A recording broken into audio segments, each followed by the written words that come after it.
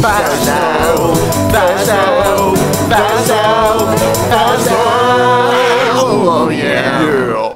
Hello folks, my name is Endrit and today we're going to do this in Clickteam Fusion.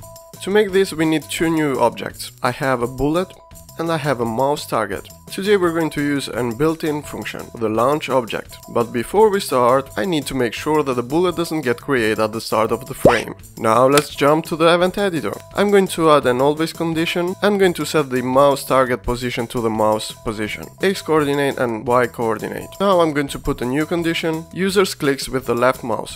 And under Canon, I'm going to launch the object. Just choose the bullet. Here you can set the speed and the direction. I'm going to use the third option. It allows me to choose a target. So I'm going to choose the target mouse. Let's try this.